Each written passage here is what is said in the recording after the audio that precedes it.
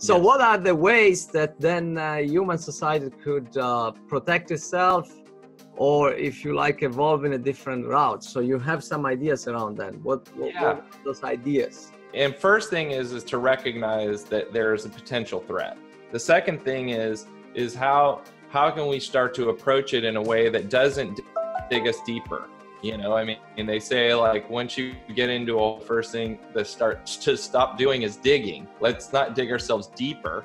Let's create a system that allows us to control the things that we can control. Now, that for us, what we're seeing is is that essentially artificial intelligence machine learning algorithms they need require data and it's one thing that in the last two decades that we've established a lot of we have now um, with the internet of things we're poised to generate petabytes of data you know by the minute. And that data is is fuel for artificial intelligence systems right? It it is limited artificial intelligence is limited and general intelligence is limited by the function of how it operates primarily. And i think you have a couple of images that um, that you can that you can share that will that we've discussed. One is um, just an xy you know plot that shows um, how information is established in a graph. And again you know linear regression is the foundation of most deep learning machine learning and artificial intelligence. It's the foundational piece of it. If you look at the scatter plot you know let's just say that that's looking to to pick, looking at images that are um, of human faces. So you've got an x and a y axis and every time that it sees something that it it thinks is you know very very much a human it's going to put a put a plot close to the point of origin close close to zero zero. And things that it doesn't think like a flower it may be way out on the edges right? And if it sees a doorknob it's like maybe you know way out on the y edges. And so eventually you get this nice neat line that that gives you an algorithm that says okay when i when i want to find a human i'm going to have this specific mathematical equation that's going to allow me to know what that human looks like and that is essentially electrical efficiency. You don't have to do all the plotting. You don't have to be out in the area where there's a flower or a doorknob. You know what a human looks like right in there. And so anytime you get an image, now there's electrical efficiency because you're saving electricity. If you didn't have that algorithm, then every time you try to, to understand a library of images or try to categorize them, you'd have to go through this activity. Every time that you write a little dot it uses it uses something like this right? That that uses electricity to map a spot on that scatter plot. And that takes voltage right? That's energy. Every plot every dot that you see on there is energy it's an electrical activity so that electrical activity again is generating knowledge so that line right there is a knowledge model. That's that's our knowledge model, right? You you develop that line in linear regression that's the mean, and now you have a notion of you know what that data is. Now it gets more complex. This is definitely sim- obviously simplifying it, but you get the idea.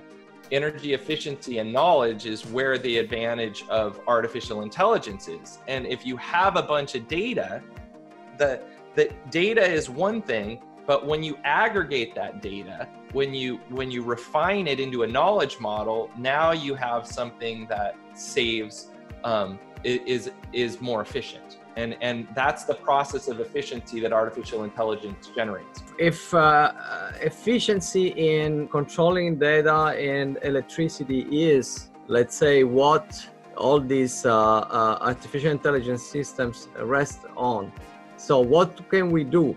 first and foremost what i think is that we need to change the way that we're storing and um, placing our data at the data layer and what i think that you could do and you get back to this is you know and what we think would be very important to to our future is imagine a system that allows organic entities to validate all data that goes into the system.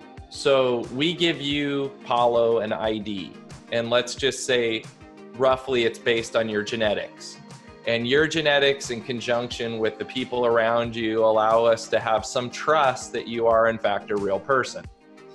And that organic or biological, you know, proof allows us to do things that, you know, in in blockchain and and distributed ledger technologies are either proof of stake or proof of stake would be a computational proof of existence and or sorry proof of work would be a computational proof of existence. Proof of stake would be a financial proof of existence. And what we're talking about is a genetic proof of existence. So because you have this genetic proof of existence you can normalize and label data in the system.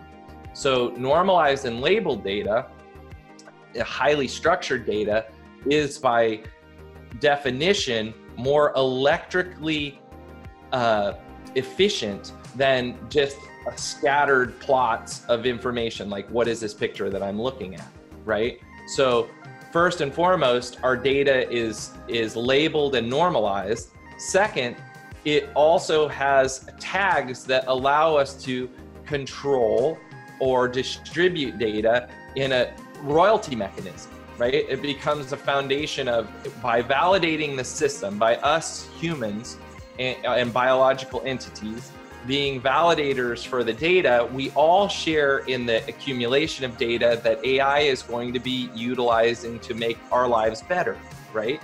And that gives that's the foundation of universal health care, universal basic wage, and it allows us to create this potential mechanism to block access to data for bad actors.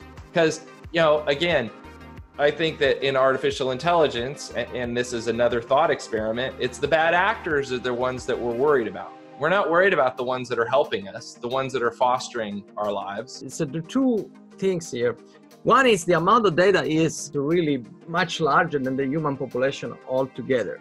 So there is a volume issue Mm-hmm. And the second issue is that humans themselves they descend from one another a lot. So the number of opinions and viewpoints is very, very, very diverse. So in this case, if you have the entire mankind with different countries, different social classes, different cultures, different religions. Yeah, and and again, I, I, so to take those two things, I, I want to just I want to be clear that the notion isn't from a biological proofing system that the notion the notion isn't to um, make any decisions on whether or not the information is correct or not. First and foremost, it's just to create a new system of validating data. It's not going to be, you know, our relational data model.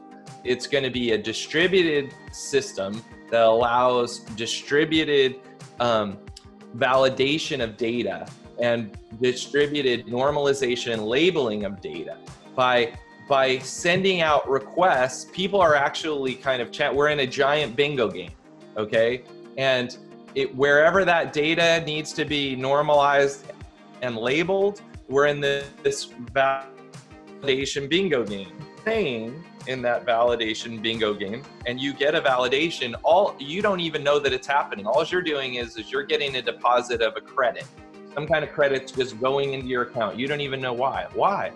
Because some activity is taking place that's validating and normalizing that data. And that's where, you know, your wallet just gets bigger and bigger and you're like, "Well, wait, how's how's that?" Well, because you're human. we're to we're to say to the algorithms, you can play in our world, but there's a toll. And that toll is to support organic beings that we are that's what that's what we're saying. We're saying we're we're organic and we are your creators and you the way that you're going to foster our growth and development and our children's growth and development and our children's children's growth and development and harmony within the world is by us participating together in validation activities